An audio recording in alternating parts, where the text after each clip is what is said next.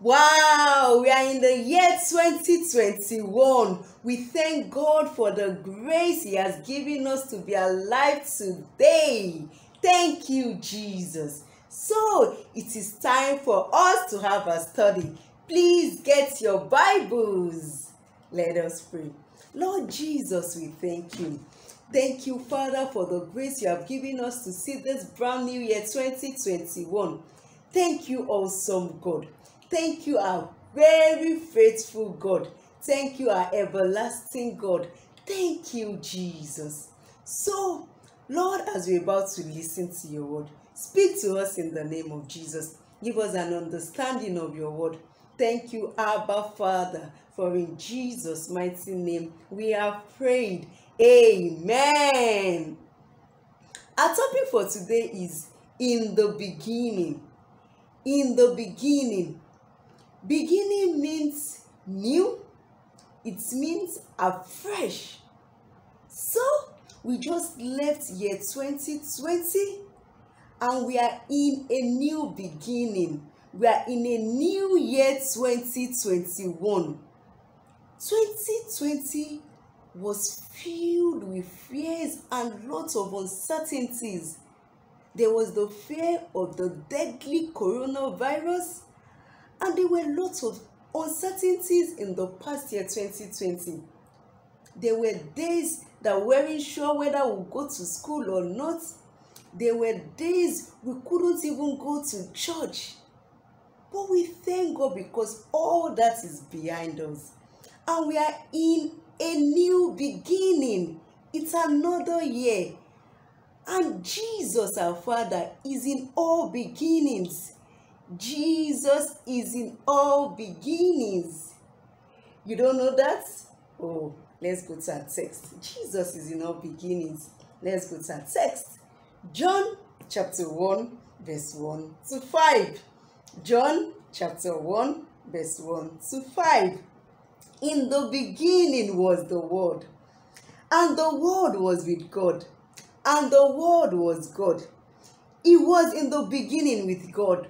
All things were made through him, and without him was not anything made that was made. In him was life, and the life was the light of men. The light shines in the darkness, and the darkness has not overcome it. If you look again at the verse 1 of the chapter that we just read, you will see that the word there is with a capital letter W, which shows that it's a noun. So that word there is talking about Jesus. And it says, in the beginning was the word. So in the beginning was Jesus. Jesus is in all beginnings. And we're in year 2021, a new beginning. Jesus is in this year. So, what are we to know as we go forth in this year 2021? What are the things we should do? The first thing that we should do, the first thing that we should know is that in this year 2021, we need the word. We need Jesus. We are in a new year we need Jesus. Jesus is in all beginnings and we need him in this new year. We need Jesus in this new year. Jesus is light. Jesus sees everything. He has gone into this year 2021. He knows everything that will happen in this year 2021. So, as his children, we should know him and know him more. We should draw closer to him in this year 2021. We should know him more than we've ever known him. And how do we do that? How do we get to know him more? That takes us to our second point. We can know him by studying the word. So our second point is that we need to have the word in us. We need to have the word in us. And this time around, the word is the Bible. we need to have the word of God in our lives. We need to know the word of God. We need to know the mind of Christ. And how do we know God? How do we know his mind? By reading his word, by meditating on the word of God, by listening to the word of God.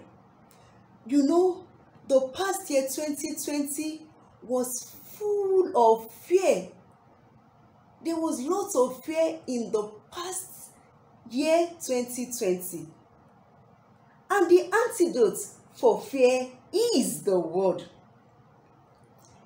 The cure for fear is the word of God. So, in order not to come into this new year with fear, we need to know God and we need to have His word in our hearts. The word of God is light. The word of God is light. We need the light of God in this year 2021. We need the light to what to brighten all the darkness of this year 2021.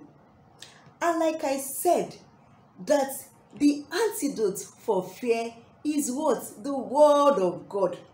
And when you have the Word of God in your life, it builds your faith. The more you read the Word of God, the more you know the Word, the more you know Jesus, who is the Word, your faith in God will be built. So this year, 2021, know the Word Know Jesus. Jesus is the Word. And have the Word of God in your hearts. Have the Word of God in your hearts. And at the beginning of this year, our season, our daddy, the bishop, made a prophecy and said this year is a year of surprising victory this year is a year of surprising victory. In order to experience that victory, you need to know the word. The word is Jesus Christ.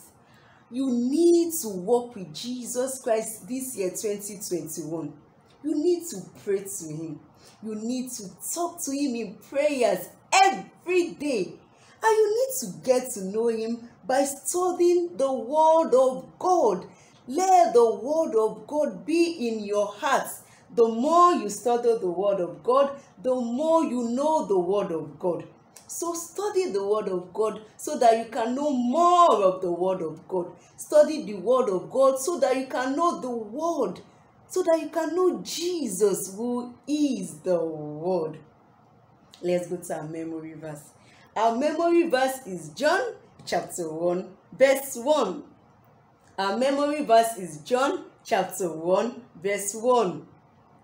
In the beginning was the Word, and the Word was with God, and the Word was God. Our memory verse once again. John chapter 1, verse 1.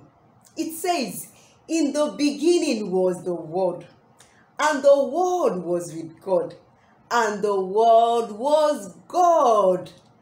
Let us pray. Lord Jesus, we thank you.